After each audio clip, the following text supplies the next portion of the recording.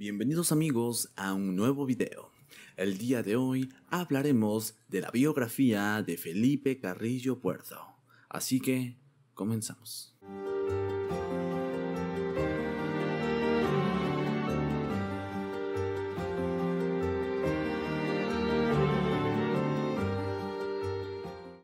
Felipe Carrillo Puerto nació el 8 de noviembre de 1874 en Motul, Yucatán.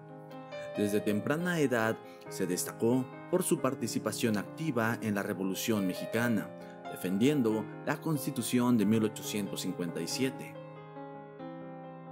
Su lugar de nacimiento, Motul, una localidad en la península de Yucatán, marcó el inicio de su influencia política y social. Después de la renuncia de Porfirio Díaz y la firma de los tratados de Ciudad Juárez, Carrillo Puerto respaldó a Delio Moreno Cantón. Desde la campaña se vio involucrado en un enfrentamiento armado, resultando en la muerte de un miembro del bando contrario, lo que llevó a su encarcelamiento. Delio Moreno Cantón era quien se presentaría en las elecciones estatales para el estado de Yucatán.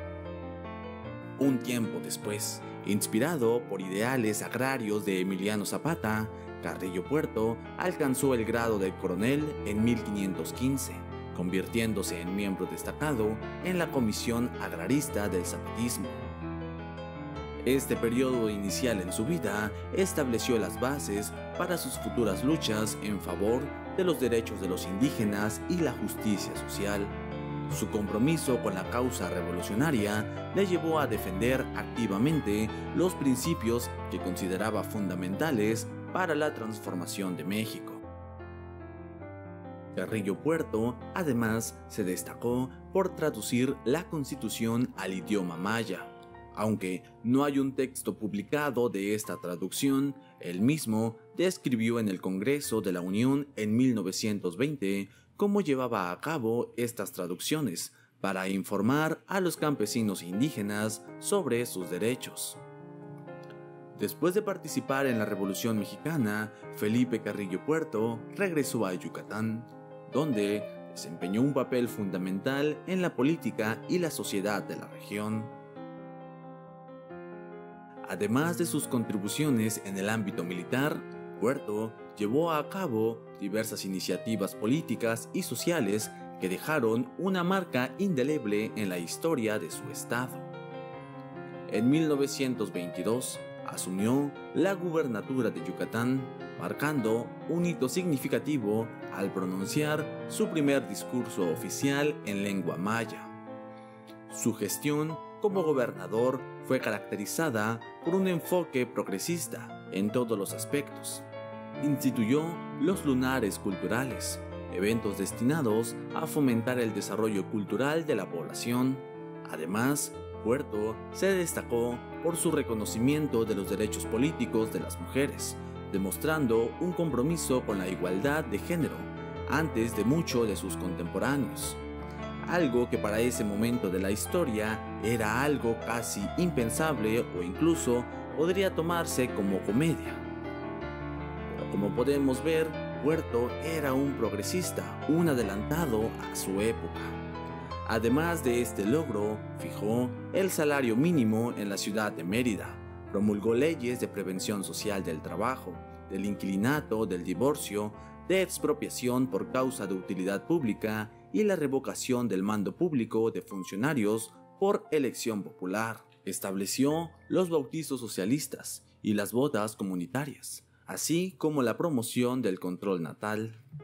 Creó cooperativas de producción y consumo, inició programas de socialización de la riqueza pública, declaró de interés público la industria genequenera, reduciendo la producción de fibra e impulsó la Liga de Medianos y Pequeños Productores de Genequen, lo que representó un enfrentamiento directo con los hacendados genequeneros. En materia educativa, destacó por la implantación en el estado de Yucatán la llamada educación racionalista. También fundó la Universidad Nacional del Suroeste, hoy conocida como la Universidad Autónoma de Yucatán. También inauguró la Escuela Vocacional de Artes y Oficios, así como la Academia de la Lengua Maya. En el primer año de su gobierno se abrieron 417 escuelas públicas.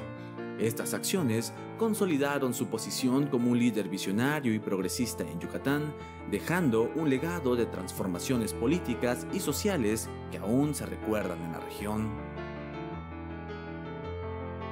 A pesar de sus notables logros y contribuciones a favor de la justicia social, el legado de Carrillo Puerto se vio truncado de manera trágica el 3 de enero de 1924, en un giro desafortunado de los acontecimientos por órdenes del general Ricardo Broca, quien había asumido el control del gobierno militar en Yucatán, Carrillo Puerto fue fusilado en Mérida, junto con otros compañeros y dos de sus hermanos. ¿Y esto?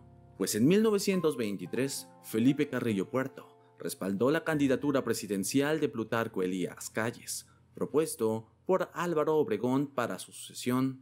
Sin embargo, surgió la rebelión de Adolfo de la Huerta, que buscaba evitar la imposición de calles y promover la propia postulación de de la Huerta. A pesar del respaldo del gobernador Carrillo Puerto, las fuerzas militares en Yucatán, lideradas por Juan Ricardés Broca, se alinearon a favor de la Huerta. Esto llevó a un conflicto que culminó en el derrocamiento del gobierno de Carrillo Puerto. El movimiento de la huertista, que se oponía a Obregón y a Calles, se hizo público el 8 de diciembre de 1923 en Yucatán. Aunque los militares declararon su apoyo a la insurrección, Carrillo Puerto se negó a respaldar a los rebeldes y reafirmó el respaldo del partido a Calles. Ante la insurrección, Carrillo Puerto intentó prepararse para el conflicto, pero enfrentó desafíos cuando la guarnición de Campeche se unió a los de la Huertistas. Intentó enviar refuerzos, pero la insubordinación de oficiales conspiradores y la captura del tren lo dejaron en una posición vulnerable.